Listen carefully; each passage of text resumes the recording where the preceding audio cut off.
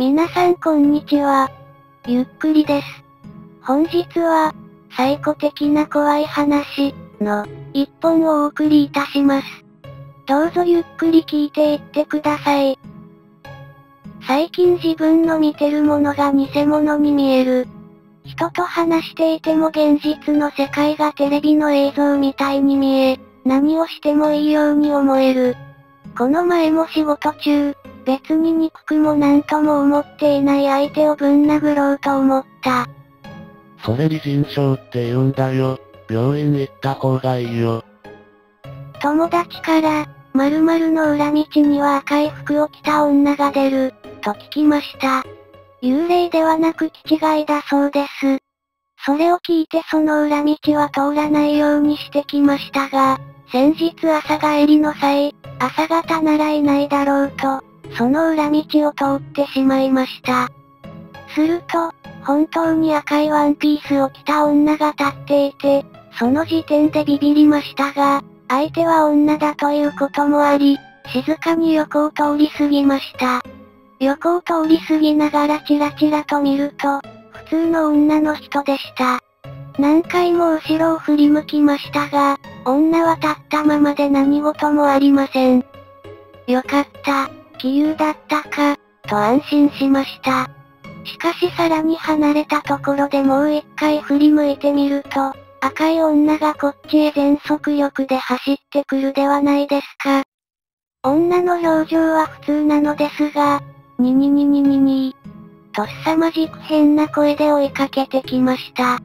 もう怖くてこっちも全速力で逃げてなんとかなりましたが、ほんと怖くてマジで涙が流れました。声が怖すぎ。前コンビニでバイトしてた時、帰り道で電柱に話しかけてる女に追いかけられた。マジで逃げた。前にいた予備校の寮の隣の部屋のやつはちょっとおかしかった。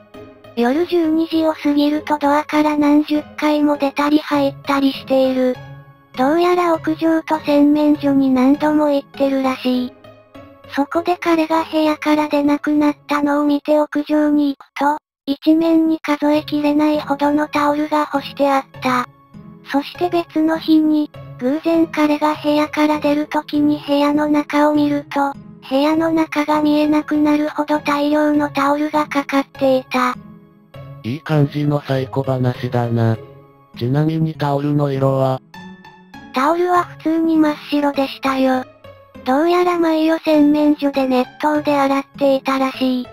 彼が使った後は蒸気が立ち込めてました。僕は最初彼が夜尿症じゃないかと思いました。同じ寮の友人もそう思ってたらしいです。タオルの枚数は尋常ではなかったです。とにかくそれが毎晩続くので気味が悪かった。しかも友人たちに聞いても、誰も彼と話した人がいませんでした。同い年のいとこが10年以上引きこもっていたんだけど、数年前に祖父の葬式で8年ぶりぐらいに会ったら、見た目は大人なのに、なんていうのか、顔の表情だけがぼーっとした小学生みたいだった。服装も完全に親のセンス任せだから全然今時の若い女の子じゃない。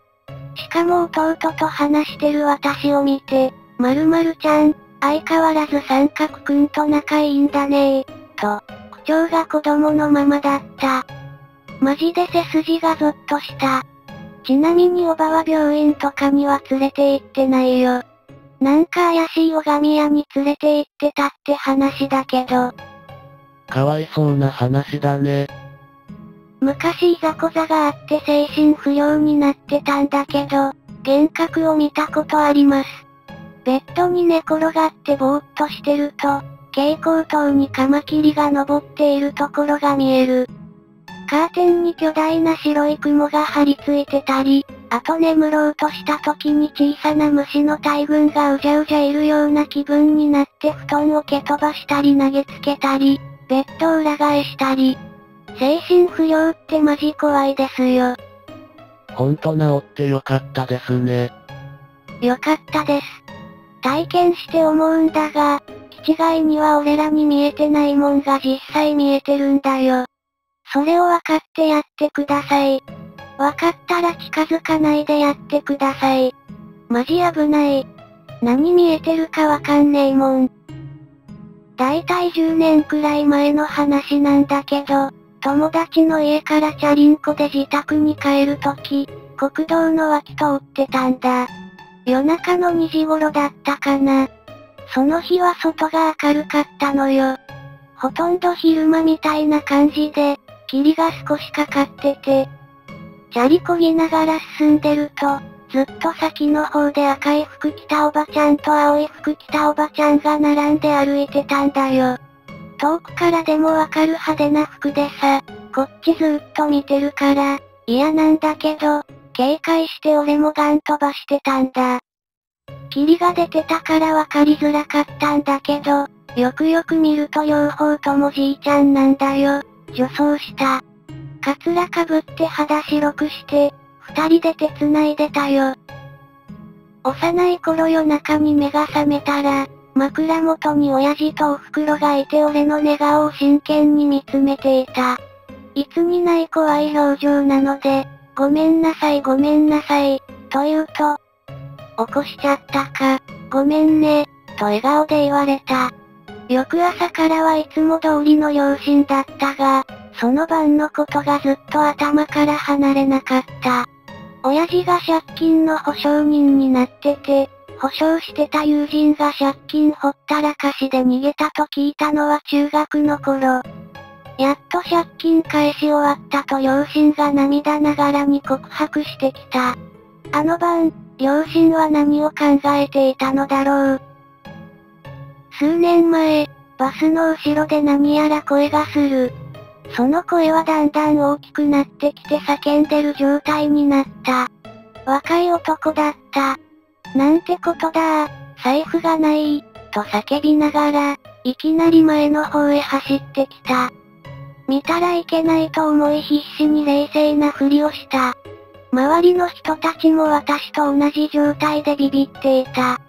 何回も確認したのに、と叫びながらまた後ろの方へ走る。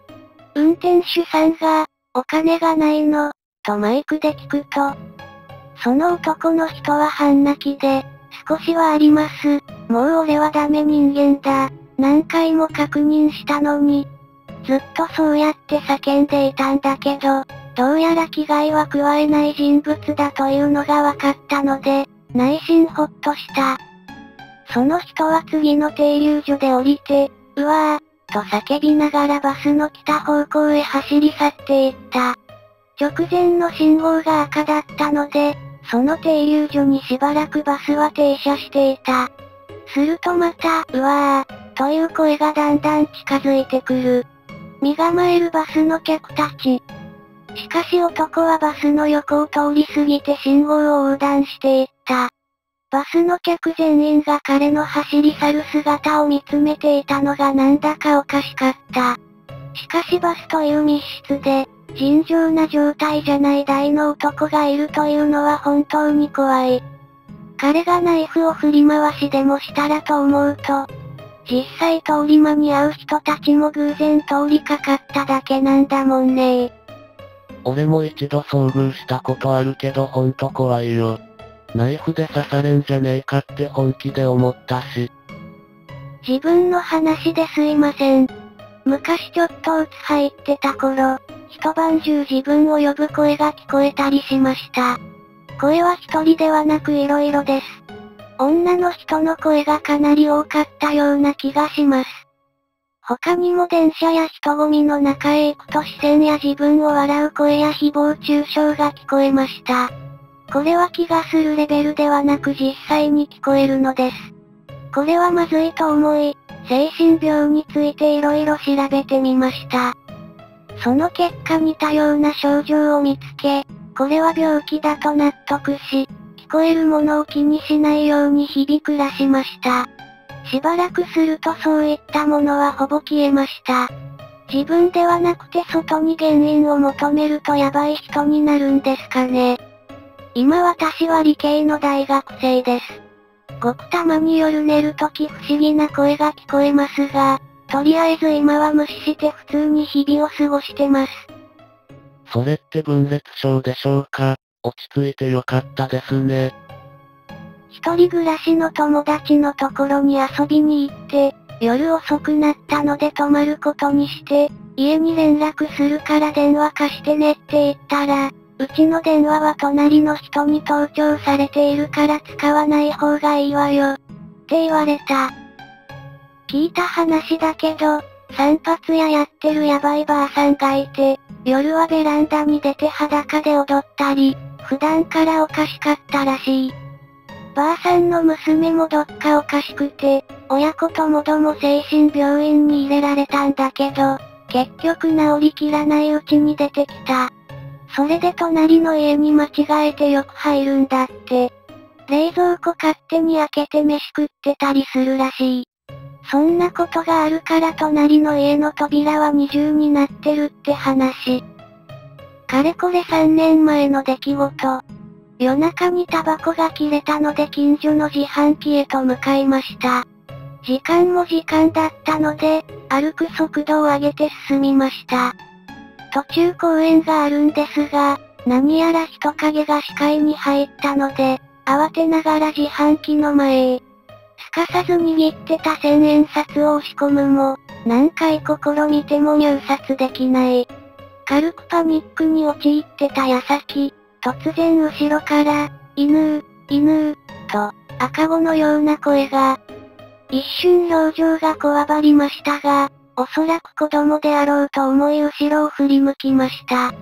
距離にして約5メートル、そこに立ち尽くしていたのは白髪の老婆。それだけでも異常なのに、このばあさん小刻みに頭を振り回しながら、短い歩幅で寄ってくるんです。な、なんですか？と、とっさに尋ねるも、犬、犬、としか返答しない。耐えられなくなった自分は、一目散に家へと戻りました。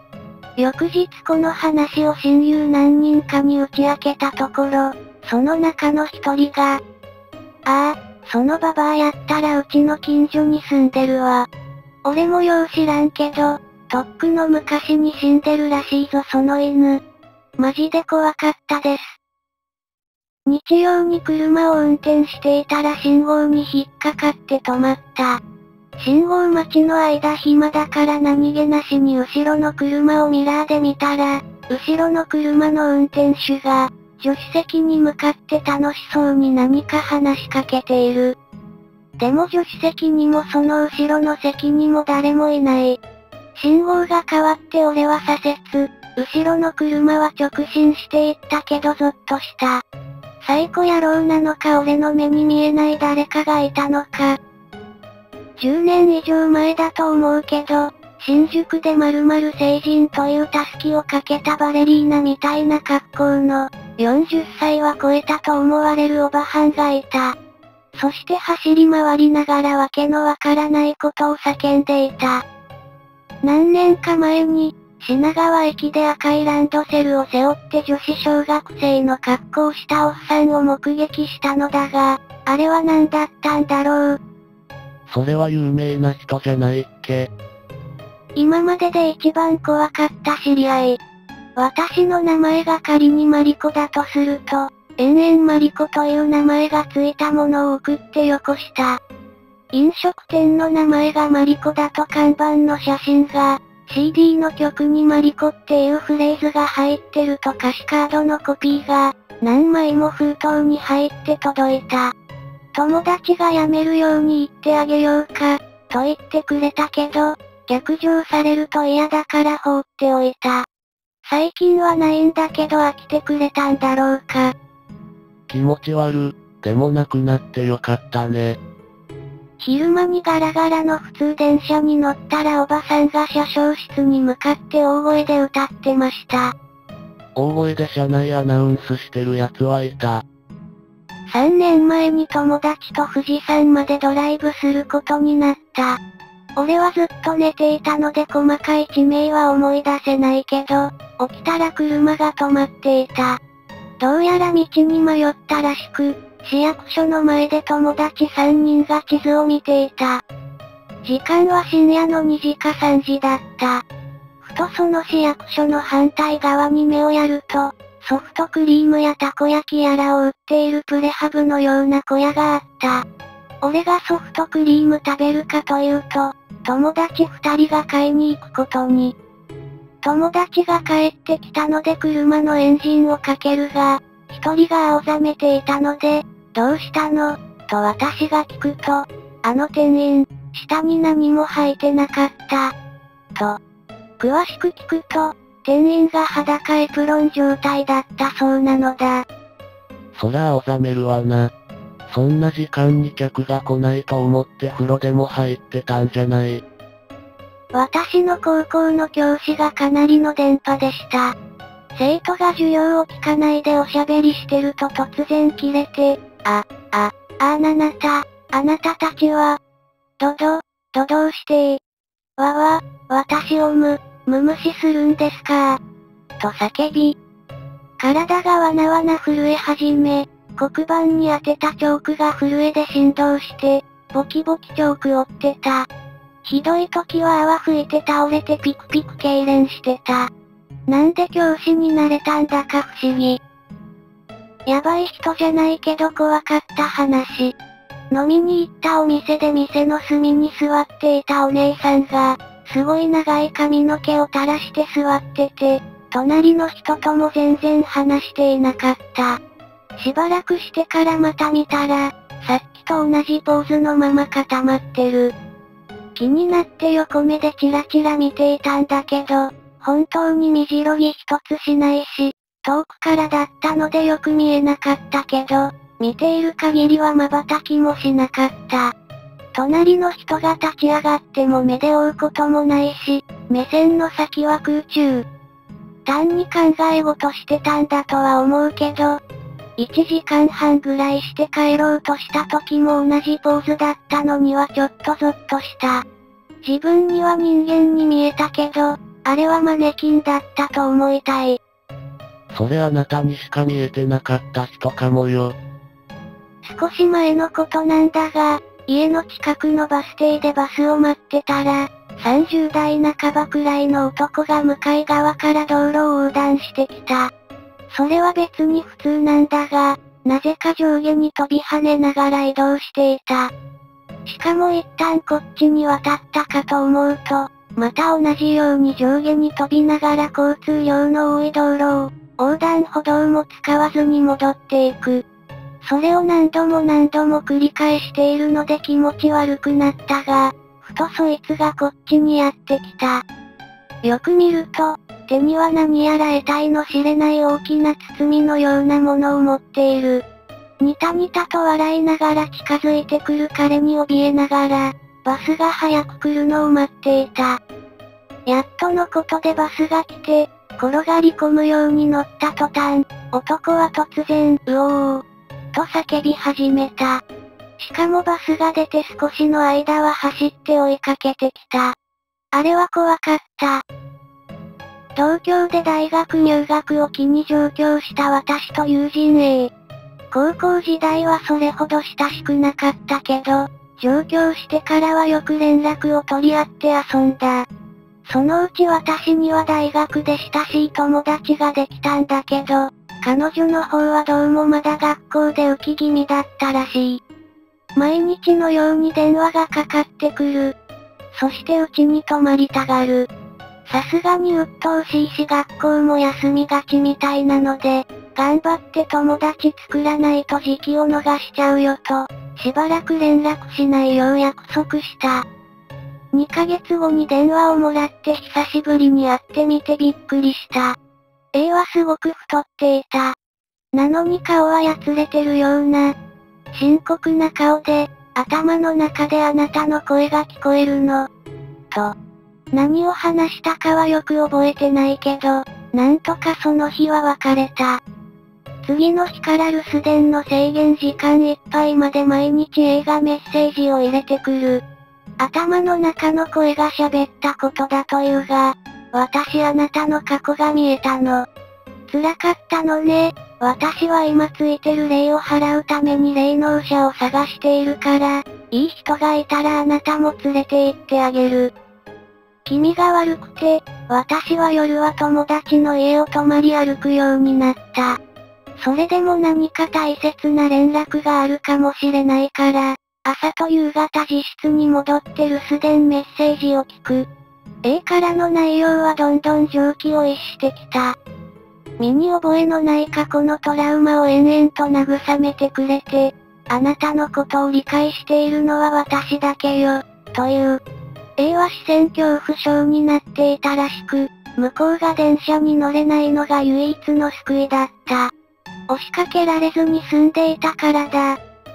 10日ほど経って、さすがにこれはもう放っておけないので、実家にある卒業アルバムを親に調べてもらって、A のご両親に連絡を取ることに。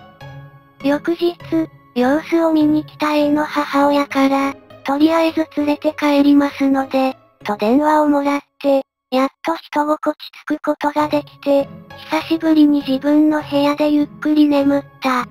さらにその翌々日、私の部屋に小包が届いた。梱包を解くと、一番上に分厚い手紙。内容は、留守電と同じような電波な内容だった。最後に、私の代わりにあなたを守るものを入れておきます。これで大丈夫です。あなたは一人じゃない。安心してね。え、何？大事そうに包まれた箱の中身を恐る恐る開けてみた。古い古い日本人形。すすけた着物であちこち剥がれた顔。立ち姿で60センチほどのものだった。寺に収めたよ。親に泣きついて引っ越しをした。10年以上経った今でも人形が怖い。大学入学で地方から移ってきた人が馴染めずに発病ってよくあるのかな。大学時代にそれに近い話を周りでいくつか聞きました。クラスに一人くらいはいたような、自分に執着されるとすごい怖いだろうな。環境戻したら案外あっさり立ち直るケースも多いみたいだけどね。まずいのは精神が不安定な状態で立ちの悪い宗教に勧誘される人。そっちは見てて悲惨だったな数年前、西川口やっちゃんと名乗るホームレスの人がよく駅に出没していました。やっちゃんは字が達筆なことが自慢で、よく駅の柱などに西川口やっちゃんとサインを書いていました。駅前で座り込んで半紙に習字を書きまくるパフォーマンスをしたこともあります。それをなんと1万円で買った人もいたそうです。若者と一緒にラジカセで踊っていたこともあります。烏帽子をかぶり、ゴミ袋に穴を開けたものを服の上から着て、何やらわめきながら両脇から警察官に抱えられて連れて行かれるところも見ました。駅のホームで人に向かって、あんたは合格、はいあんたは不合格、などと勝手に謎の合否判定をしたりすることもありました。いろいろと迷惑なことをすることもありましたが、みんな温かく見守っていたような気がします。電波さんでしたが、みんなに愛される楽しい人でした。もう全然見かけなくなってしまいました。もうなくなってしまったのかもしれません。なんか和む。不定期の深夜バイトである町に行った時のこと。運よく早く終わって始発の電車に乗れそうだったのですが、駅のホームで薄暗い中、柱に抱きついている女がいる。地味な茶色のコート着てて何かわめいていたので、近くにいた駅員さんに、あの人酔っ払いじゃないんですかと言ったら、酔っ払いじゃないんだよね頭おかしいんだよ、と。そのわめき声というのがまた耳につく。他の客も無視してる。それで始発に乗ったんだけど、女はそのまま柱に抱きつきっぱなし。どうも毎朝必ずああやっているらしい。昔まだ私が思春期真っ只中だった頃、文通にハマってあちこちの雑誌の募集コーナーに投稿していた頃がありました。で、採用されて手紙が来るわけですが、特に某オカルト雑誌に採用された手紙には、珍妙な方がたくさんいらっしゃいました。あなたのことを占ってあげたいので、丸月丸日、23時頃に〇〇駅で会いましょう。目印に黄色いハンカチを持っています。当然しかとした。どこの誰とは書かれていなかった。宇宙人は実在します。あなたは知っていますか？以下宇宙人の話を延々。自己紹介の文など一切なし。縦書きの毛筆でびっしり書かれた手紙だった。自分の住所氏名などの記入がなく、裏一面に、オウム真理教は怖い、オウム真理教は怖い、オウム真理教は怖い、と書き殴られただけのハガキ。今から10年以上も前の話。思い返すとこれが一番怖いというか、軽くゾッとする。一週間ほど前友人と電車に乗ったら、本当に普通の女子大生みたいな人が見えない携帯電話でずっと喋っていた。周囲の人も見ていたけど、全然気にしてない様子。駅に着いて降りる時にちゃんとボタンを押して電話切る真似もしていた。友人と、やっぱり春はおかしい人が多い、ということで。そういや中学の時の林間学校で、朝食の時に周りからゆで卵を15個くらいもらって、とんでもない速さで食らっていた女がいた。スーパーでバイトした時のこと、中学生くらいの女の子がキーホルダーをレジに持ってきたがお金が全然足りなかった。お金足りないですね、と言ったら、固まってしまって全く動かなくなった。あの、お金足りないんで買えないですよ、と、話しかけるもうつむいたまま品物を見つめて完全凝固。後ろのお客が苛立ち始めたので、仕方なく彼女を避けるように業務を再開。みんな不審そうに彼女を見つめるが彼女はそのまま。20分くらいしてまた声をかけたら、真っ赤な顔でキビスを返して去っていった。ちょっと気の毒、些細なことですごく傷つくタイプの人もいるんだよね。ちょっとかわいそうだね。でもお金が足りないと買えないものは買えないしね。小学校低学年頃に近所を自転車で走っていたら、突然自転車に乗ったじいさんが、もう、と口走りながら俺を追い越していきました。ちょっと頭のあれな人なんだろうなぁと思いながらも、なぜに牛の鳴き声なんか発しているんだろうと不思議に思った。つい最近、モウとは旧来お化けの鳴き声として用いられたというのを読んで、幼少の頃の記憶が蘇ってきました。つまりあのじいさんは、お化けの真似をして子供をビビらせようとしたのかなと今は考えています。うちのじいさんはエレキングを松の木にくくりつけてた。意味は全く不明。ばあさんが全部取ってしまったけど、あれってよそから見たら相当最高だったかも。平日の昼間に自動販売機でジュースを買おうとしたら、後ろから関係ないボタンを押されて走り逃げされたのは怖かったです。30代くらいの男性でした。笑いながら走り去るその人を、待ちなさいと、60くらいの女の人が追いかけていって、ごめんなさいと1000円握らされて呆然と立ち尽くした記憶があります。そういえば東京の地下鉄で突然、どうやったら人間は死ぬんですかと聞かれたことがあったっけな10年ほど前に電車の中で小太りの色白男に延々と、今日何曜日って聞かれたことがあった。木曜日です。って答えても、ふーん、今日何曜日って聞いてくる。結構混んでたのに他の誰でもなく私に向かってだけ。中学生の女の子が困ってんだから周りの大人も助けろよって今は思う。怖かったね世知辛い世の中だね以前住んでいた近くにも似たような人いたな。通称寒いねおじさん。みなりは普通の中年男性なのだが、秋も更けてくると通行人に、誰彼構わず延々寒いねと声をかけてくる。そうですねと答えても、寒いねしか言わない。どこにでもいるんだろうかそういう人。夏場になると暑いねおじさんになるという話だ。10年くらい前に友達の通っている高校の文化祭に行くために立川に行った時の話です。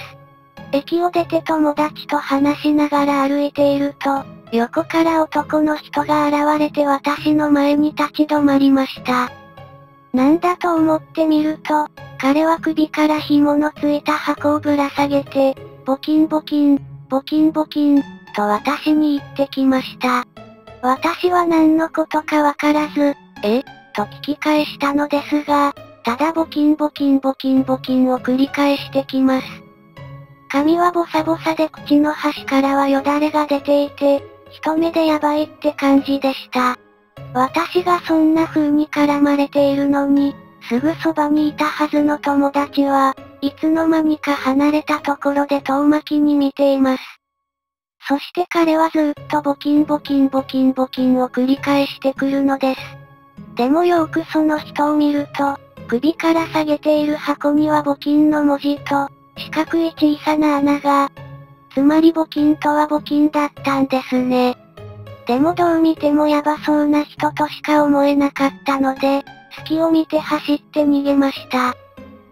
昔東横線に乗っていたら、おはようございます、おはようございます、と大声を上げながら通路の真ん中を早足で歩いてくる若い女がいた。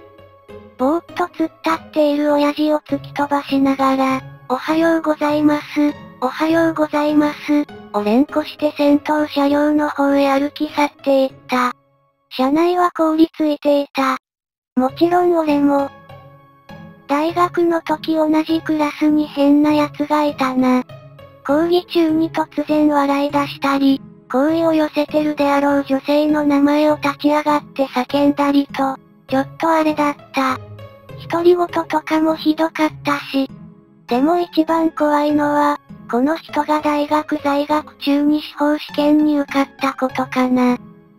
紙一重なんだね。精神科に勤めてる人とかいない。実際春になると来院する人は増えるんですか？人間は年中発情期とはいえ哺乳類ってもともと春に発情するもんだから、そのホルモン変化のリズムが残ってるんじゃない。自分が聞いたのは、春は環境の変化が多くてストレスから心を壊す人が増えるんだって。俺の住んでる町には木星栄光という蛍光色の看板を掲げたおじさんがいる。宇宙新聞ってのも発行してるよ。新聞を読んだら波動の力で木星の衛星へ行くことができるらしい。知ってる。俺10年以上前からその看板見てるよ。小学生の時優等生の女の子が、いきなり泣きながら黒板に謎の文字を書き出した。教室は一気に騒然となり、中には怖くて泣き出す子もいた。彼女は先生に連れられて行ったが、帰ってきた時には普段の彼女に戻っていた。その後彼女があのような症状になったことはなかった。一体何なんでしょう？子供ならただ感触を起こしただけじゃない。夜コンビニに行く途中で立ちションしてるおっさんがいて、その後ろを通り過ぎようとしたら、いきなりこっちを向いて小便を撒き散らしながら追ってきた。ひーと思って、走ってコンビニに飛び込んだ。コンビニの店員に行ったら入ってこないようにドアを押さえていた。おっさんはしばらくブラブラさせてたが、にやりとして去っていった。帰りが怖いので30分くらい立ち読みなどして、コンビニの人に一応警察に連絡入れてもらって帰ったよ。そういう場合警察に行くべきだと思うけど、あなたの他にも被害に遭う可能性のある人もいるんだし。電車に乗っていたら挙動不審な男が車内をブツブツ言いながら歩いていました。私の前に立ち止まったと思ったら、ぶっ殺してやると腕を掴まれた。あまりのことに悲鳴も出ず固まってしまいました。そのまま固まってたらその男はどっかに行きました。とっさの時は声も出ないものだ。電車の中は多いね。よく遭遇する。中央線で、最初携帯で話してるのかと思ってみたら一人で喋ってた。中野はバカが住んでる、とか、高円寺はろくでもねえ、とか。でも俺はあんな街は出てやるからいいんだ、とか。かなりでかい声だった。そして中野で降りていった。最古って言えば俺の昔いた学校での話なんだけど、英語の授業中に先生が、後ろの人、この文訳して、って言ったんだ。で先生に刺された列の一番後ろの M が訳そうとした。そしたら先生が、違う、一番後ろだよ、って言い出したんだ。もちろん一番後ろの生徒は M で、当然のことながら M の後ろには誰もいない。でも先生は盾とか訳せないのかとか言っている。それから数分した後に、そう、よくできたな、座っていいぞ。そう言ってまた普通に授業を始め出したんだ。今になっても先生のあの行為がよくわからないんだよな。体験したのは友達なんだけど、友達の友達が分裂病を発症したそうです。なんか日に日に感情の起伏が激しくなって、電話で話を聞いていても狂っていくのが分かったそうです。この世で一番怖く悲しいことは、自分の親しい人が壊れていくのを見てるしかないことだと思う。想像しただけで幽霊なんかより全然怖い。終わり。